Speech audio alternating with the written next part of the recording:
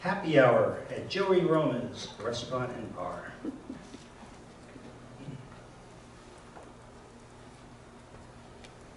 The guy at the end of the bar had been drinking vodka martinis for two hours, swiveled his stool as if making a difficult decision, and had just decided to act.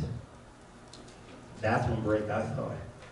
But he tottered onto the riser in the corner, dropped his ass down on the bench, and bent into the yellowing keyboard of the scarred piano balanced near the edge. It doesn't matter what he played. It could have been any old standard. But the thing is, his delicate interpretation, how everyone stopped talking to listen for five minutes or so before he collapsed into a discordant heap, and then how most looked away and resumed conversations, ordered another round, twirled spaghetti on a fork.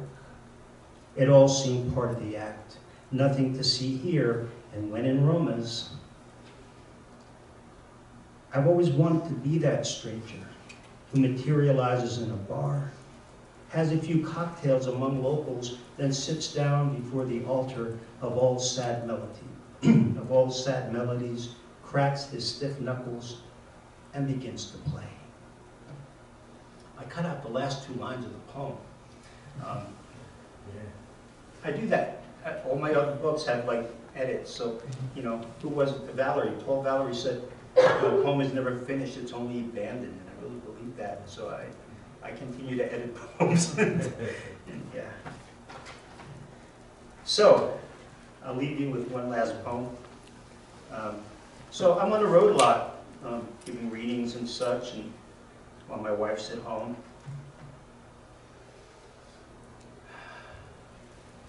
And you know, out there on the road, there, st- things start looking good. Certain things start, hmm. And, uh, no, not that. You guys got dirty minds. No. All you can eat Chinese buffets. My wife won't let me go. But When I'm on the road and I see one, hmm.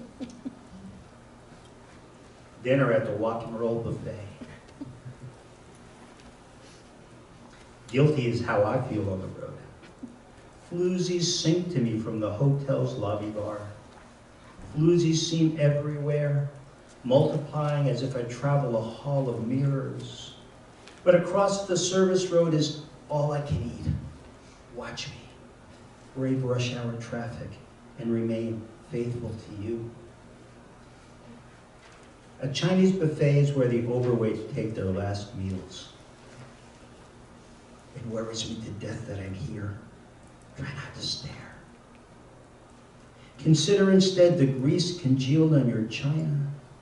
Every trip to the trough requires another clean plate. Signs are hung to remind you the dishes are scratched. Decorative rims have faded with the washing. A Chinese buffet is a whorehouse. Still, fat people arrive. The hostess loses her face. She whispers in her daughter's ear, tell them in back, more kung more beef on a stick. She dreams thousands of deep fryers orbiting Earth, watches them glisten like stars. The fat people change and grow unearthly, unaffected by gravity. They gracefully maneuver space around steam tables, steel serving spoons held daintily in their swollen hands.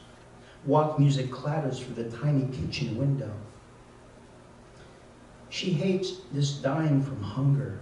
She hates how her face changes when she sees them at the door, the fat ones, the sad ones.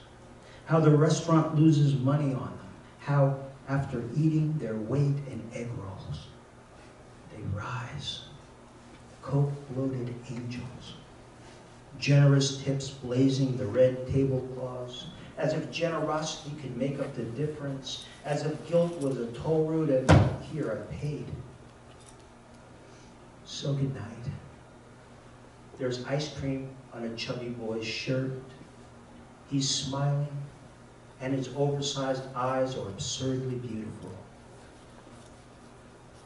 I've given in my love to desire. so that I might die.